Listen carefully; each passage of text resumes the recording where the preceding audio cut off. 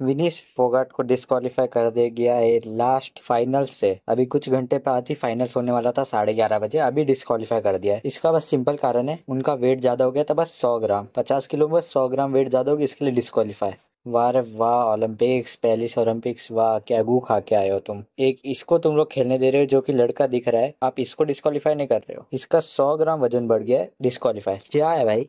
कुछ ज़्यादा खा लिया होगा खुशी का मेरा टू भी डिस्कालीफाई सौ ग्राम के लिए। तो इसके पीछे भी मुझे एक कॉन्स्पिरसी थियोरी मेरा मानना हो सकता है तो सुन लेते पहले। विनीस फोगाट का 2021 में पूरे रेसलर कम्युनिटी का कुछ केस चल रहा था, आपको तो पता ही होगा। मोदी के अगेंस्ट सरकार के अगेंस्ट की है सेक्स और हरासमेंट के अगेंस्ट इस आदमी के अगेंस्ट में। इसके बारे में कोई भी बड़ा न्यूज़ चैनल कवर नहीं कर रहा था। इनको बहुत हेट मिल रहा था। तो अगर ये गलती से भी गोल्ड मेडल ला देते सिल्वर तो कंफर्म था गोल्ड आ जाता। तो मोदी का फ़ोन आता। मोदी का फ़ोन आता तो अगर ये मोदी का फ़ोन उठा के न्यूज़ में जाता था ना वो सब तो फ़ोन उठा के अगर ऐसे कुछ शब्द बोल देते जिससे मोदी की इंसल्ट हो जाती है ओलंपिक्स में तो वो बचाने के लिए हु नोस कोई कुछ भी कर सकता है। गोदी मीडिया में तो भाई अंधा पैसा है, कुछ भी कर सकते हैं, सौ ग्राम की बात है। तो पता नहीं, वेट में भी कुछ हो सकता है, मशीन भी खराब कर सकते हैं। जेल मत भेजना भाई, एक ही बेटा बोलना फ्रीडम ऑफ़ स्पीच है ये।